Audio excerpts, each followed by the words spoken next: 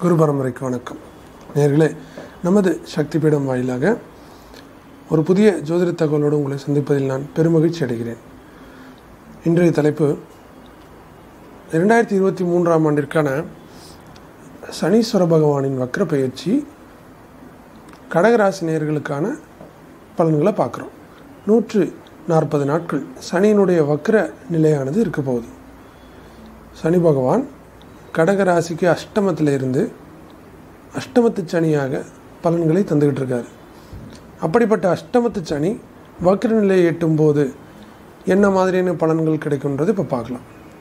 நேர்களே இது வந்து வக்ர பயிற்சின்னு தலைப்பில் போட்டிருக்கோம். பயிற்சியெல்லாம் கிடையாது. இது வந்து இடப்பெயர்ச்சி இல்லை நிலை பயிற்சின்னு வேணால் சொல்லலாம். அப்படின்னா என்னென்னா சனி சாதாரண நிலையிலிருந்து பின்னோக்கிய நகர்வான வக்ர நிலையை எட்டுவதை வேணால் நம்ம பயிற்சின்னு சொல்லலாம். ஒரு மாற்றம். இந்த கடக ராசி நேயர்களுக்கு கடக ராசி மற்றும் லக்ன நேயர்களுக்கு சனியானவர் சப்தம மற்றும் அஷ்டம அதிபதியாக வரக்கூடியவர். சப்தம அதிபதி திருமண அமைப்புகள் மற்றும் பார்ட்னர்ஷிப் போன்ற விஷயங்கள் மூலமாக நமக்கு வாழ்க்கையில் மேன்மை ஏற்படுத்தி தரக்கூடியவர். அஷ்டம அதிபதி வாழ்க்கையில் எதிர்பாராத திருப்பங்கள். திடீர் மாற்றங்கள் சில நேரங்களில் இழப்புகள் மூலமாக நன்மையை கொடுக்கக்கூடிய ஒரு அஷ்டமாதிபதி.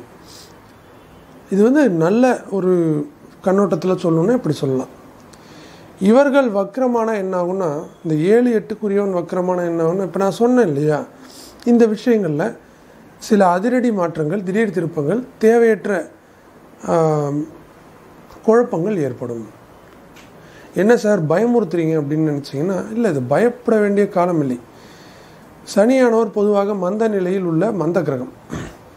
இப்படிப்பட்ட மந்த கிரகம் வருஷத்தில் ஒரு கிட்டத்தட்ட ஒரு நான்கரை மாதம் மட்டும் வக்ர நி நிலைன்னு சொல்லக்கூடிய பின்னோக்கிய நிலையை அடைவார். அதாவது கிட்டத்தட்ட எட்டு மாதம் நேராகவும் ஒரு நாலு மாதம் பின்னோக்கிய நிலையும் அடைவார். நாலு நாலரை மாதம் அப்போது இந்த வக்ர நிலையானது மந்தமாக இருக்கக்கூடிய சனியினுடைய நகர்வுகளை சற்று வேகமாக மாற்றும். சனி இயல்பில் மந்தமாக இருக்கக்கூடியவர்.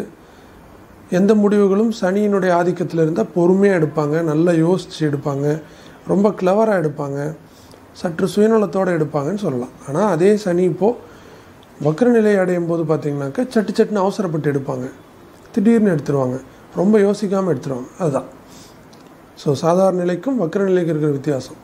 சரி இப்போ கடகத்திற்கு கடக ராசி லக்னக்காரங்களுக்கு இது எப்படி இருக்குன்றது பார்ப்போம்.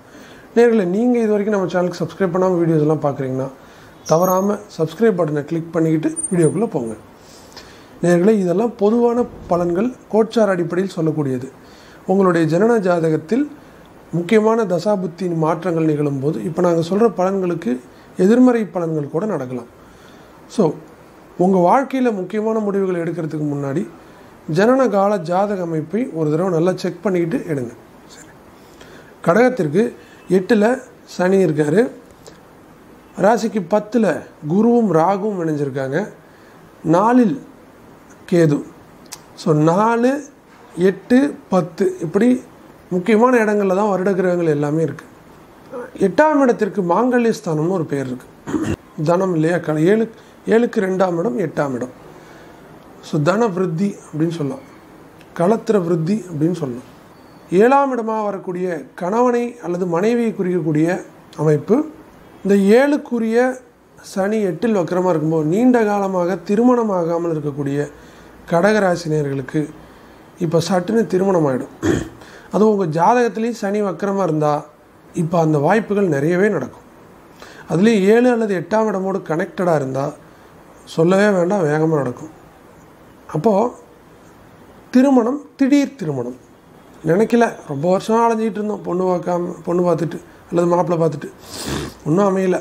அப்படின்னு இருந்தவங்களுக்கு போன வாரம் வரைக்கும் ஒன்றும் இல்லை இந்த வாரம் கல்யாணம் ஃபிக்ஸ் ஆகிடுச்சுன்ற லெவலுக்கு வந்துடும் ஒன்று ரெண்டாவது நீண்ட காலமாக ஏதாவது கோர்ட்டு கேஸ் வம்பு வழக்குகள் நடந்துக்கிட்டு இருந்தால் இழுவையாக இருந்தால் இப்போ சட்டுன்னு ஒரு முடிவுக்கு வந்துடும் நீண்ட காலமாக உங்களுக்கு யாரோ ஒருத்தர் வேலை பார்க்குற இடத்துல உங்களை பற்றி தப்பு தப்பாக சொல்கிறது இல்லாதெல்லாம் சொல்கிறது அல்லது வேலையில் நீங்கள் நிம்மதியாக செயல்பட முடியாத அளவுக்கு உங்களுக்கு ஒரு சிக்கலான சூழலை ஏற்படுத்தக்கூடிய அமைப்புகளை கொடுக்கக்கூடிய நபர்கள் யாராவது உங்களுக்கு யாருனே தெரில அப்படி ஆனால் ஒருத்தன் இருக்கான் அப்படின்னு நினச்சிட்டு இருந்தீங்கன்னா அவன் யாருன்னு இப்போ தெரிஞ்சிடுவான் அதாவது மறைமுக எதிரிகளை கண் முன்னாடி கொண்டு வந்து நிப்பாட்டிடும். ஏதாவது ஒரு அவமானம் அல்லது ஏதாவது ஒரு சங்கடத்தை சில காலமாக நீங்கள் ஃபேஸ் பண்ணிக்கிட்டு இருந்தீங்கன்னா அந்த சங்கடத்திற்கான ஒரு தீர்வு அல்லது தெளிவு உங்களை தேடி வரும். இது மட்டும் இல்லாமல் ரொம்ப காலமாக ஹாஸ்பிட்டலைஸ்ட் அல்லது ஏதாவது ஒரு நோய் இருந்துகிட்டே இருக்குங்க. ரொம்ப காலமாக மருந்து சாப்பிட்டுட்ருக்கோம் ஆனால் பெரிய அளவுக்கு மாற்றம் இல்லை. பாதிப்பு அப்படின்ற மாதிரி தான் இருக்குது அப்படின்னா அவர்களுக்கு இந்த சனியினுடைய வக்கர காலத்தில் நீங்கள் ஒரு மருந்து எடுத்துக்கிட்டிங்கன்னா அல்லது ஒரு மருத்துவரை அணுகுனீங்கன்னா அல்லது ஏதாவது உங்களை தேடி வந்து உங்களுக்கு அந்த மருத்துவத்திற்கான அமைப்புகள் ஏற்பட்டால் அது சட்டுன்னு குணமாகும். நீண்ட கால நாள்பட்ட வியாதிகள் தீரும். உங்களுடைய வீட்டில் திருஷ்டி தோஷங்கள் கழிக்கிறது. இந்த மாதிரியான ஏதாவது தோஷங்கள் கழிக்கிறதுக்கு ரொம்ப காலமாக அதுக்கான டைமே அமையலை. வீட்டில் ஏதோ என்னவோ மாதிரி இருக்குங்க. அது ஒரு ஹோமம் பண்ணலான்னு பார்க்குறோம் அல்லது அதுக்கு ஒரு பூஜை பண்ணலான்னு பார்க்குறோம் இல்லை என் குலதெய்வத்துக்கு ஒரு கிடா வெட்டலான்னு பார்க்குறோம் ஆனால் அது நடக்கவே மாட்டேங்குது சார். ஏதாவது ஒரு காரணத்தினால வீட்டில் தள்ளி தள்ளி போயிட்டுருக்கு. அப்படி இருந்தால் அதற்கான அமைப்புகள் இப்போது டக்குன்னு நடக்கும். ஆனால் நீங்கள் முயற்சிகளை எடுக்கிற பட்சத்தில் நடக்கும். கணவன் மனைவி உறவுகளில் இருந்த சண்டை நீண்ட காலமாக இருந்தால் இப்போ தீரும். சார் எங்களுக்குள்ளே சண்டையே இல்லை சார். நல்லா தான் இருக்கிறோம். அப்படின்னா இப்போது எச்சரிக்கையாக இருக்கணும். சண்டை வர வாய்ப்பு இருக்குது ம கணவன் வீட்டாரால் அல்லது மனைவியினுடைய வீட்டாரால் ஒரு பிரச்சனை அல்லது ஒரு வாக்குவாதம் ஒரு சங்கடம் ஒரு குழப்பம் ஏற்பட வாய்ப்புள்ளது. நாள்பட்ட கடன் இருந்தால் சார் ரொம்ப காலமாக கடன் இருக்குது சார். அப்படின்ற கடன்கள் ஏதாவது இருந்தால் இப்போ அதை அடையும். டக்குன்னு முடிஞ்சிடும் நிறைய கடன்கள் இருக்குது சார் அப்படின்னா அதில் ஏதாவது ஒன்று ரெண்டாவது இப்போ கட்டி தீர்த்துடலாம். எதிர்பாராத ஒரு நபர் மூலமாக குடும்பத்தில் ஏதாவது ஒரு பிரச்சனை ஒரு மூணாவது மனுஷங்களால் ஒரு பிரச்சனை வரும். வீட்டுக்குள்ளே. ஆல்ரெடி ஒரே பிரச்சனையாக இருக்குது சார் வீட்டுக்குள்ளே. மூணாவது மனுஷங்களால தான் இல்லை சொந்தக்காரங்களால தான். அப்படின்னா அதே மாதிரி ஒரு எதிர்பாராத ஒரு மூணாவது மனுஷங்க அந்த பிரச்சனை முடிவுக்கு வந்துடும் அவங்க ஏதோ ஒரு ஐடியா கொடுப்பாங்க அதை செஞ்சோன்னே டக்குன்னு தீந்துடும் அது மாதிரி. வார்த்தைகளில் நிதானம் வேண்டும். இந்த டைமில் பேசும்போது எச்சரிக்கை வேணும். சரியான ஒரு கண்ணோட்டத்தோட சரியான ஒரு நிலையோட சரியான ஒரு கண்ட்ரோலோட உங்களுடைய வார்த்தைகள் இல்லாத இருக்கிற பட்சத்தில் இப்போது உங்களுடைய வார்த்தைகள் உங்களுக்கு எதிரிகளை உண்டாக்கிவிடும். செலவை உண்டாக்கிவிடும். தேவையற்ற பிரச்சனைகளையும் அவமானத்தையும் உங்களுடைய வார்த்தைனா வா இது மட்டும் இல்லை கம்யூனிகேஷன் நீங்கள் எழுதுகிற மெசேஜோ போடுற ஒரு மெயிலோ இந்த மாதிரி ஏதோ ஒன்று லெட்டரோ உங்களுக்கு சங்கடத்தையோ அல்லது அவமானத்தையோ தேடி தந்துடும் சற்று நிதானமாக நல்லா படித்து பார்த்துட்டு பண்ணுங்கள் பேசுகிறதுனா ஒரு தடவைக்கு ரெண்டு தடவை பேசுகிற வார்த்தைகளை யோசிச்சுட்டு பேசணும். கையில் காசு அதாவது இப்போ உங்கள் அக்கௌண்ட்டில் நீங்கள் வந்து கடகராசி லக்னக்காரங்களாக இருந்து உங்கள் அக்கௌண்ட்டில் காசு நிறைய ஒரு ஒரு சேவிங்ஸ் வச்சுருக்கீங்கன்னு வச்சுக்கோங்களேன். இந்த டைமில் அந்த காசு சேவிங்ஸை வீட்டில் இருக்கிற வேறு யார் அக்கௌண்ட்லேயாவது போட்டு வைங்க அது உங்களுடைய வங்கி கணக்கிலே இருக்கிற பட்சத்தில் அந்த காசுக்கு ஏதாவது ஒரு தேவையில்லா திடீர்னு ஒரு பெரிய செலவு வந்துடும் ஸோ மற்றவர்களுடைய அதாவது மனைவி அப்பா அம்மா மாதிரி அவங்களுடைய அக்கௌண்ட்டுக்கு மாற்றி விட்டுருங்க. உங்கள் அக்கௌண்ட்டில் குறைந்த தொகையை மட்டும் கையில் வச்சுங்க அது ஒரு செலவை உண்டாக்கி அந்த காசை அழிக்கும். சரியா? வேற ஒருத்தவங்களோட அக்கௌண்ட்டில் வச்சுருக்கும்போது அந்த பிரச்சனையை தவிர்க்கலாம். எக்காரணத்தை கொண்டும் குடும்பத்துக்குள்ளே அதாவது உங்கள் வீட்டுக்குள்ளே அப்போ நாலு பேர் இருக்கீங்க. புருஷன் மண்டாட்டி அப்பா அம்மா குழந்தைங்க அஞ்சு பேர் இருக்கீங்க அப்படின்னா இந்த சனி வக்கரம் பெறக்கூடிய இந்த நூற்றி நாற்பது நாட்களில் ஒரு சண்டை அந்த மாதிரி ஏதாவது ஒன்று வந்தால் மனஸ்தாபம்னு ஒன்று வந்தால் முடிஞ்ச அளவுக்கு அதை உடனே சால்வ் பண்ண பாருங்கள் உள்ளுக்குள்ளே வச்சிட்டிங்கன்னா அது பெருசாக வளர்ந்து பூதாகரமாக வெடிச்சிடும் குழந்தைகள் விஷயத்தில் கடக ராசி லக்னக்காரங்களுக்கு கூடுதல் எச்சரிக்கை வேண்டும். வக்கர நிலையில் சனி உங்களுடைய ஐந்தாம் இடத்தை பார்க்குறாரு இல்லையா?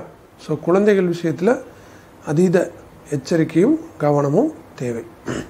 பிள்ளைகளோட வளர்ச்சியில் தொய்வுகள் ஏற்படலாம். பிள்ளைகளுடைய படிப்பில் சற்று குறைபாடுகள் ஏற்படலாம். இல்லை பிள்ளைங்க வந்து கொஞ்சம் உங்கள் பேச்சு கேட்காம கொஞ்சம் அவசரப்பட்டு ஏதாவது தவறுகள் செஞ்சு அதனால் உங்களுக்கு ஒரு கெட்ட பேரை தேடி தரலாம். ஸோ இந்த மாதிரி விஷயங்களை கொஞ்சம் எச்சரிக்கை. சார் சனி வக்கரம் வந்தால் நல்லதே இல்லையா சார்னு நிறைய நன்மைகள் இருக்குது நான் முதல்ல சொன்னேன் இல்லையா கடன் தீரும் நீண்ட கால பிரச்சனைகள் டக்குன்னு முடிவுக்கு வந்துடும் எதிர்பாராத ஒரு கெட்டது மூலமாக இன்னொரு நல்லது நடக்கும்.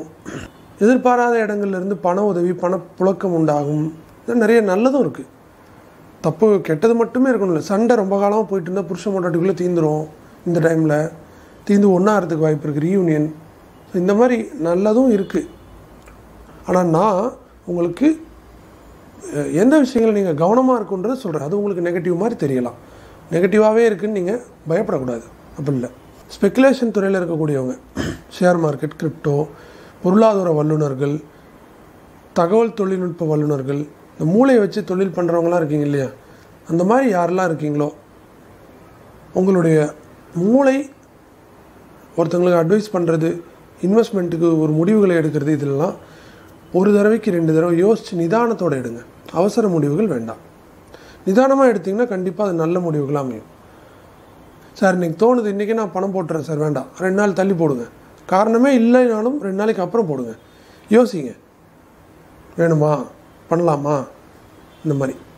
அது உங்களுக்கு கண்டிப்பாக நன்மையை தான் தரும். யோசித்து தள்ளி போட்டு செய்யும் விஷயங்கள். வேலை.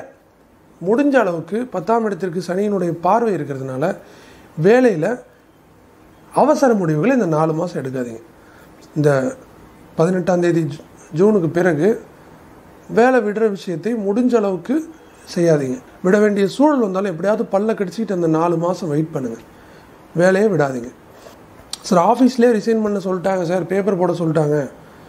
அப்படின்னு நினச்சிங்கன்னா அப்போ பயப்படாதீங்க. கண்டிப்பாக அடுத்து ஒரு நல்ல வேலை உடனடியாகவே கிடைக்கும். பயப்பட தேவையில்லை. நீங்களாக எந்த நிர்பந்தமும் இல்லாமல் எனக்கே ஒரு மாதிரி இருக்குது சார் பிடிக்கல. ஏதோ தொழில்கள் பண்ணலாம்னு நினைக்கிறேன். அப்படி வேலை விடாதீங்கன்னு தான் நான் சொல்கிறேன் சுயமாக வேலை விடாதீங்க. அதுவாக போச்சுன்னா உடனே இன்னொன்று கிடைக்கும். பயப்பட வேணாம் குடும்பத்தில் தாத்தா பாட்டி பெரியவங்க வயசானவங்க இருந்தாங்கன்னா அக்கம் பக்கம் அவங்க குளிக்கிறது நடமாடுறது போகிறது வரதுல எச்சரிக்கையாக இருக்க சொல்லுங்கள் சரிங்களா? ஏன்னா சனியினுடைய வக்கர பார்வை கர்மஸ்தானத்திற்கு விழுது. சரிங்களா? அப்போது பெரியவங்க தாத்தா பாட்டிலாம் எச்சரிக்கையாக இருக்கணும். வீட்டில் பார்த்துக்கணும் செய்கிற செயல்கள் எதுவாக இருந்தாலும் அந்த செயலில் நன்மை இருக்கணும். முடிஞ்ச அளவுக்கு. சரிங்களா? பைரவர் பைரவ பத்தினி. பைரவியை வழிபட வேண்டும். முடிஞ்சாக்க பைரவ யந்திரம் கால பைரவர் யந்திரம் அல்லது சொர்ணாகர்ஷ்ண பைரவர் யந்திரத்தை உங்கள் வீட்டில் நல்ல தேர்ந்த தாந்திரீகர்கள் மூலமாக எழுதி உங்கள் வீட்டில் பிரதிஷ்டை பண்ணி வச்சுக்கோங்க. சிறப்பாக வேலை செய்யும். கடக ராசி லக்னக்காரங்க வக்ரச்சனியின் தாக்கத்திலிருந்து சமாளிக்கிறதுக்கு பைரவரை கும்பிடலாம். சரிங்களா? சிவ வழிபாடுகள் எப்பயுமே நல்லது. ஆடி மாதம் வருது. அம்மனுக்கு கூழ் ஊத்துறதும் ஏன்னா சந்திரனுடைய அமைப்பான கடகராசிக்கு சந்திரனுக்கு அதிதேவதை அம்பாள்.